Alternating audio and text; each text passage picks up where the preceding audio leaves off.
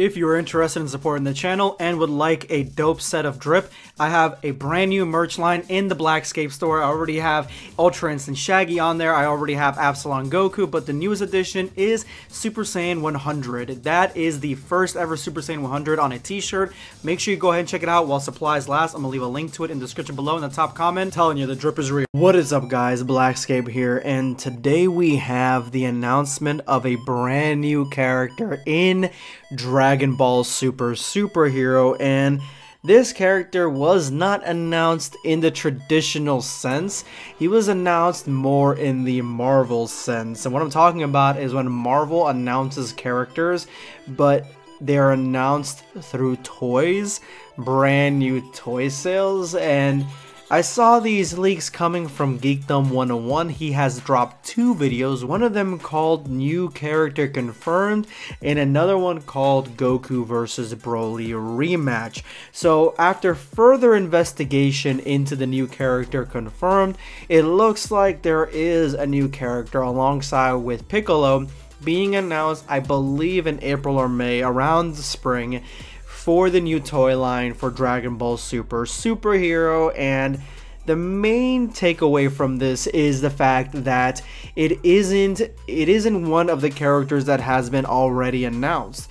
So it's somebody completely new who we don't have the name for and when it comes to the new trailer, this is actual news because it actually means that there is somebody else that we're first of all not seeing and number 2 he's important enough or she's important enough to make a character or a toy character for. So when it came to this bit of news that I saw, honestly, the first thing that came to mind is a brand new Android, an Android that is the culmination of what they're trying to accomplish because a wise man once said, Dragon Ball Super Superhero is essentially a resurrection of F, but with Cell at the center. And honestly, I think that's 100% accurate. It is 100% Dragon Ball Super's resurrection of F with Cell because all the pieces of bringing Cell or a character that is basically Cell, they're back. Red Ribbon Army, DNA, androids, everything seems to be falling in place. So a new character that is essentially a cell one-off is definitely plausible in the future, especially if they're trying to make a threat big enough that could encompass what we've seen so far in Dragon Ball Super, such as Moro, such as Granola, such as Gas, such as Ultra Ego and Ultra Instinct. You need a character that's going to be on that level for the story to be interesting, even if it's going to be a slice of life you could say the Battle of Gods was essentially a slice of life story with a destroyer god in the middle, the most powerful being that the Dragon Ball Z universe has ever seen at the center of it. So that's exactly what I'm thinking is going on with this new character. It looks like we're going to be getting somebody brand new. Now, the second video from Geekdom is called Goku vs. Broly rematch and originally after seeing the thumbnail it quite literally looked like this was a clip from Dragon Ball Super Superhero of Goku vs. Broly, something we've never seen before, but upon further investigation, this is a collaboration.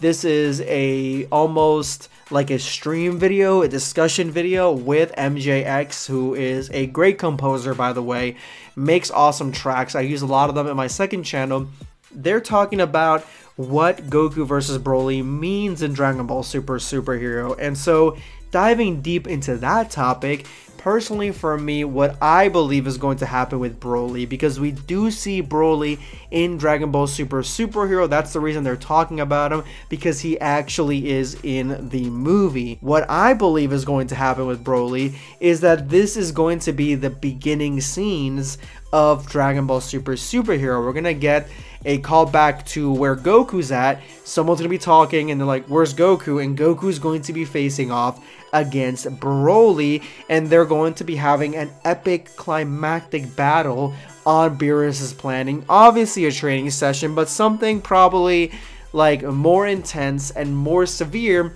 than probably should be had on Beerus's planet. And I believe that Broly more than likely is going to showcase the fact that he can control to an extent the Ikari state. I believe that's what's gonna happen.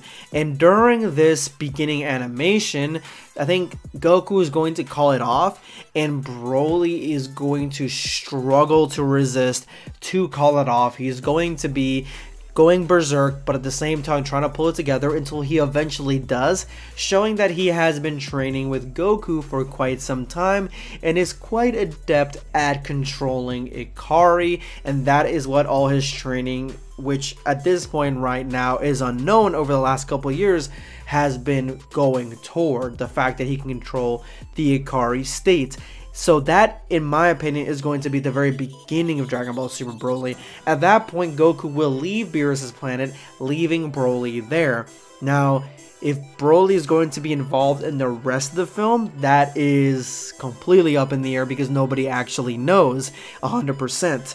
But what I think is going to happen is that if they believe that because honestly, if they're going to have Broly in the film in any capacity, they're going to have him in the beginning to bring in the crowds because Broly was the last movie. Bring in the crowds to this new movie because Broly is going to be in it. That's essentially going to be it. So you're going to have that Broly payoff really early on, and that's exactly what I just described. Broly's payoff is going to be very early on, and he's going to be almost like a, a, a show a showstopper. That's going to be the beginning of the film, what we've been waiting for, and you paid your ticket for. Then after that, we're going to get into the Red Ribbon Army stuff and the new villain and all the all, all the all the different things that go on with that.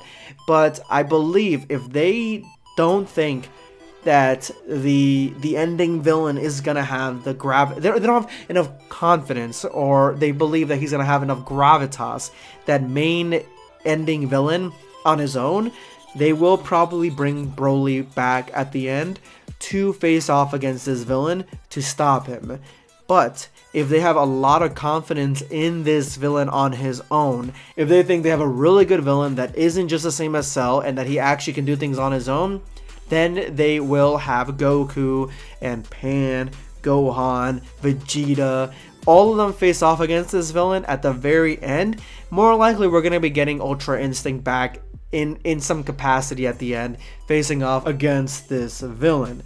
Once that happens, once that's over, once it's the end of the movie, at the very end, which is, in my opinion, probably going to 100% happen, where there is either going to be a a fiesta, a party, a barbecue, then that's when you're gonna get the next clip of Broly if they have confidence in this villain to be great. And that's a, that's the main thing. They have to have confidence in this guy that he's going to be amazing, and he may not be, but we'll see. But that's my prediction for Dragon Ball Super Superhero. Um, again, I just saw Geekdom's videos and I thought that I would dive deep into this topic and give you guys my interpretation of what's going on here. Let me know in the comments below what you guys think of both these videos. This is going to be Blackscape signing off. Take care, guys. Subscribe for more content. Or perish.